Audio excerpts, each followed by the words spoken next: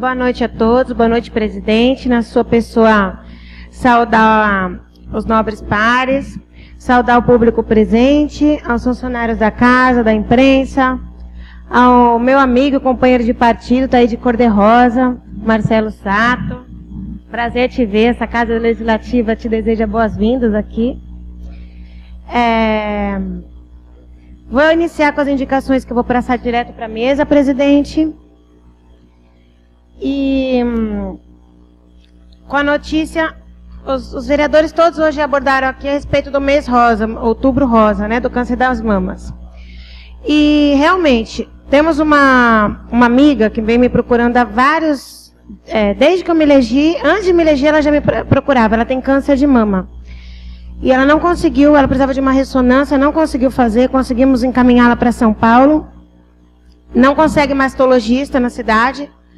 Realmente, mas o problema do mastologista, é, eu fui falar com o secretário a respeito disso, ele já abriu três concursos públicos emergenciais e não tem mastologista para assumir.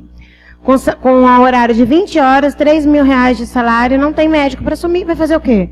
É por isso que eu digo, o programa Mais Médico só veio para beneficiar a nossa população, a nossa cidade, o nosso país. E ontem foi aprovada na Câmara dos Deputados a MP do Mais Médico. Por isso, parabenizo o ministro Padilha, a presidenta Dilma, por esse importante programa do governo federal.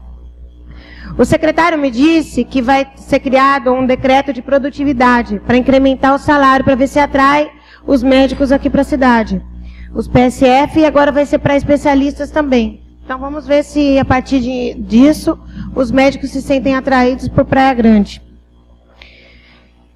Venho também, hoje, vai ser votada a moção de apoio que eu apresentei semana passada, da, a respeito de mandar para a presidenta Dilma para que seja enviado para o Congresso Nacional lei complementar que disciplina aposentadoria especial de servidores públicos submetidos ao regime próprio de previdência social que são os portadores de deficiência, os que exercem atividade de risco e cujas atividades sejam exercidas sobre condições especiais que prejudicam a saúde e a integridade física, endossando o por isso que eu endosso esse pedido de aprovação. É muito importante, porque a gente vê o que eu vejo de gente que vem procurar meu gabinete, eu acho assim, aposentadoria é direito do trabalhador.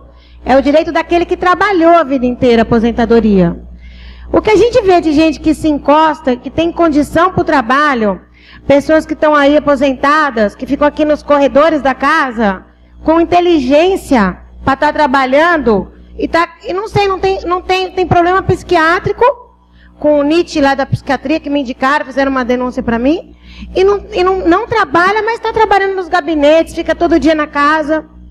Eu acho que tem que averiguar, gente, porque o trabalhador trabalha para ter aposentadoria e não consegue aposentar. E, e, tem malandro que consegue aposentar sem, sem ter contribuído e com doença. Eu queria que passasse por perícia novamente para ver se tem louco mesmo. Dentro, dentro dessa casa legislativa tem várias pessoas aqui que estão afastadas e eu vou pedir averiguação para saber qual o motivo do afastamento? Qual o motivo que está aposentado? Porque o trabalhador, a nossa previdência tem que ser cuidada, a gente tem que fiscalizar, sim, viu, vereadores? Então, quando vocês souberem, eu acho que a gente tem que ajudar a previdência, porque o trabalhador vai agradecer. Nós temos que assegurar que o trabalhador esteja lá resguardado a previdência para os nossos companheiros trabalhadores de verdade que dão suor do seu rosto.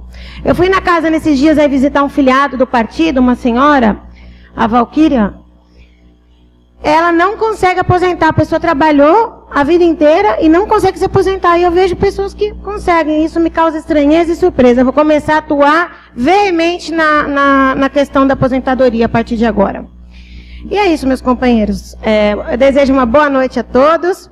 Fiquei feliz que toda a casa já mudou de opinião com o programa Mais Médico. Quero ver todo mundo aqui defendendo o nosso ministro Alexandre Padilha. Parabéns para os colegas que assim defendem. E até a próxima semana.